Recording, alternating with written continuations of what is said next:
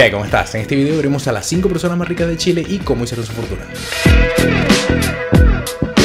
En el puesto número 5 tenemos al conocido expresidente Sebastián Piñera, con una fortuna estimada de 2.800 millones de dólares. En el 75, Piñera y su hermano José fundaron Bancat, que fue una de las primeras empresas de tarjeta de créditos en todo Chile. Siendo pioneros y teniendo mucho éxito en el mercado nacional, se fueron expandiendo poco a poco a otras áreas de Latinoamérica. En los 80 también hizo una increíble inversión en la aerolínea LAN, que hoy día conocemos como parte de LATAM. En su momento esta inversión ayudó a la aerolínea a poder expandirse a muchas otras partes de Latinoamérica. Y poco más adelante, en los 90, se haría con el canal de televisión Chilevisión, que con el paso del tiempo se convirtió en uno de los principales de todo el país. También fundaría en el 94 la famosa compañía de telecomunicaciones BTR, que se llegó también a convertir en el principal proveedor tanto de televisión como de internet en todo Chile. Pero en el 2005 Piñera tomó una decisión algo bastante particular, vendió su participación en LAN y en muchas otras compañías dejándolo con mucho capital líquido. Pero esto no solo se quedó allí, Piñera en el 2009 fue electo presidente de Chile y durante ese tiempo gran parte de su dinero y sus inversiones quedaron en fideicomiso ciego, al cual no tenía acceso directo, ya que al estar en un cargo tan importante necesitaba protegerse de cualquier tipo de acusación de malversación de fondos, por lo tanto tomó esta decisión.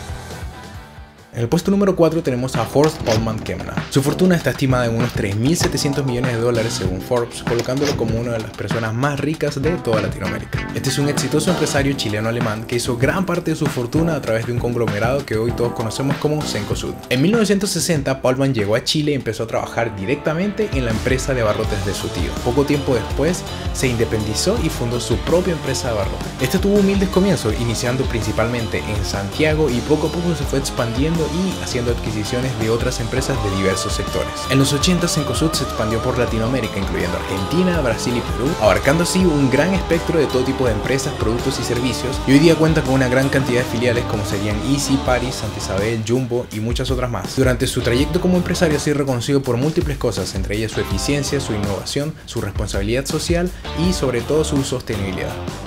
En el puesto número 3 tenemos a Julio Ponce Lerou, cuya fortuna está estimada en unos 4 mil millones de dólares. En 1980, Ponce Lerou se convirtió en el gerente general de la compañía que en ese momento era parte del Estado llamada SQM o Sokimich. Durante todo este tiempo, SQM se fue expandiendo en muchos otros mercados, incluyendo el mercado del litio y mercado de potasio, pero siempre se mantuvo en todo lo relacionado a la industria minera. Con el paso del tiempo, él fue adquiriendo cada vez más acciones de la misma empresa hasta convertirse en accionista mayoritario. En la década de los 90, SQM se convirtió en la empresa líder en lo que era producción de litio, que hoy día lo utilizamos esencialmente para casi todos los elementos electrónicos que tengan batería, porque casi todas estas baterías están hechas de litio. Así que te podrás imaginar el vasto mercado que tenía que abastecer. Pero tiempo más adelante tuvo ciertas controversias porque bueno, no todos fueron arcoíris y rosas, sino que tuvo ciertos escándalos de corrupción o conflicto de intereses, lo cual hizo que tuviera que retirarse de su cargo. Pero no fue hasta 2013 donde Ponce vendió gran parte de sus acciones de SQM dejándolo con un gran margen de ganancia en todo este proceso.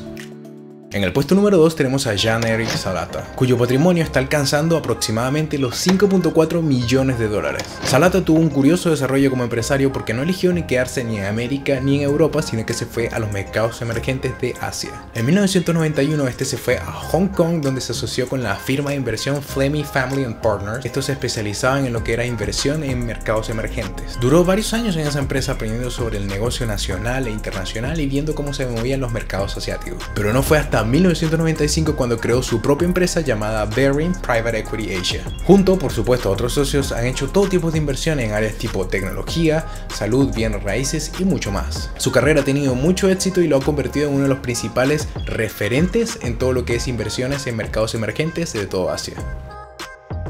En el puesto número 1 tenemos a Iris Fontbona, cuya fortuna asciende hasta los 24 mil millones de dólares, convirtiéndola en una de las personas más ricas de toda Latinoamérica y una de las mujeres más ricas de todo el mundo. Fontbona es la viuda del empresario chileno Andrónico Luxich, quien fundó el grupo Luxich en la década de los 50, heredando así en el 2005 la participación que tenía su esposo en el grupo Luxich, el cual tiene todo tipo de inversiones tanto en el área de minería, hotelería y en la banca. Estos son en gran parte dueños de Antofagasta Minerals, Banco de Chile y Compañías de Cervecerías Unidas o CCU. Y bajo el mando de Fontbona, este fondo de inversión se siguió diversificando tanto en el espacio de la minería como en otros rubros. Y sobre todo esto, en el 2020 2021 Forbes lo nombró como la mujer más rica de toda Latinoamérica y una de las más ricas de todo el mundo. Y esto fue todo por el video de hoy, espero que te haya gustado y quién sabe, tal vez tú vayas a estar en esta lista en unos próximos años. Así que nos vemos en la próxima. Chao.